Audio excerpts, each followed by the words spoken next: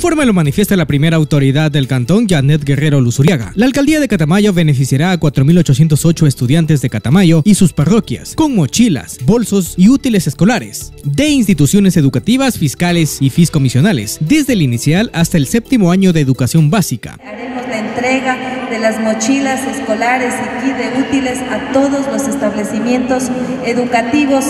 fiscales y fiscomisionales desde inicial hasta séptimo año de básica, listas completas de acuerdo al pedido por parte del Ministerio.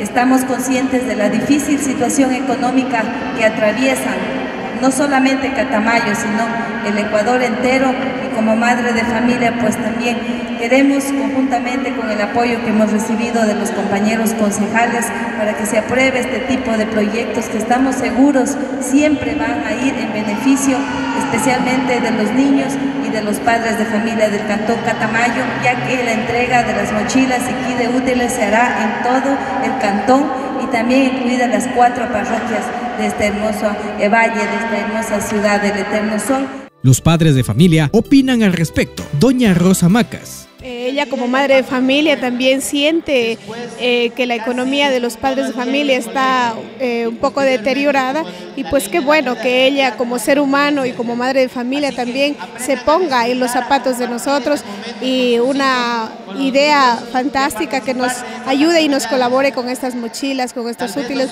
que nos van a venir como se dice el dicho popular como anillo al dedo para todos nosotros. Alonso Cuesta eso eh, creo que es lo más importante que se ha dado porque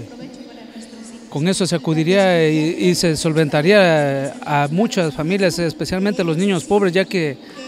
para los padres es muy duro el poder eh, comprar útiles y mochila y, yo felicito realmente ese es un buen acto por, por, parte de la alcaldesa, ya que con eso va a ayudar a todas las familias, especialmente a las que más impacta esto, este inicio de clases, que es a toda la clase pobre. Franklin Cueva. Bueno, eh, es una actividad que se va a hacer, eh, le felicito porque hay muchas situaciones que los padres de familia no avanzan a cubrir con los costos de los útiles escolares. Eh, felicitarlos por esta iniciativa y que sean adelante, que apoyen a la educación, al deporte, para que nuestra juventud, nuestra niñez pueda seguir adelante. Síguenos en nuestras redes sociales o en nuestra web www.municipiodecatamayo.gov.es.